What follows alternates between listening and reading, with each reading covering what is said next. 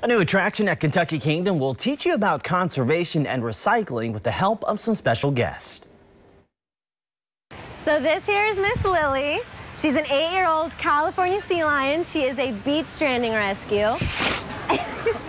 and she's here to help us educate people here in Kentucky Kingdom about the importance of conservation and how important it is to love our world's oceans.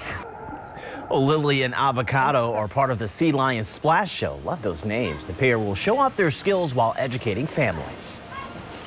Lily's going to help teach the crowd how to recycle, um, how to dis properly dispose of our trash if we don't recycle, if we can't recycle. Um, and she's definitely going to entertain the crowd with her personality. Lots of personality there. The show starts Saturday and runs through August 8th. There are two shows during weekdays and three shows each day during the weekend. Checking back in with